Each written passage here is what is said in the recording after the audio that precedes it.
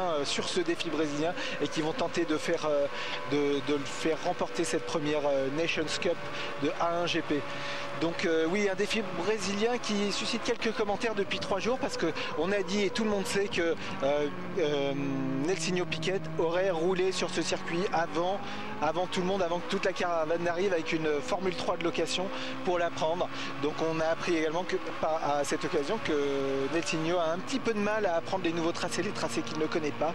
Et il a roulé, donc il a passé deux jours, à- il aurait passé deux jours à rouler avec une Formule 3, ce qui lui donne un avantage sur les autres qui découvrent euh, ce circuit. Personne, aucun des euh, pilotes aujourd'hui en piste n'a roulé sur ce tracé d'Eastern Creek en Nouvelle-Galles du Sud en Australie. Euh, Cela dit, les circuits qu'il ne connaît pas, ça n'aura qu'un temps, puisqu'il aura très vite fait d'en avoir fait le tour, Oui. Piquet. Le japonais, actuellement, euh, le Shimoda. japonais Shimoda, qui tente d'améliorer le nouveau temps de référence.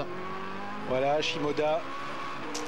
Donc il y a un défi japonais qui, re- qui refait surface là. On l'avait, euh, euh, il n'était pas, il n'était pas présent au Portugal et on. Très mal on- parti Shimoda, hein. deux, secondes, deux secondes de retard à l'intermédiaire.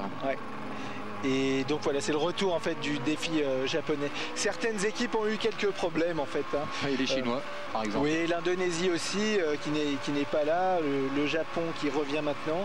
Et voilà, il se passe beaucoup de Oh là choses là, dans ce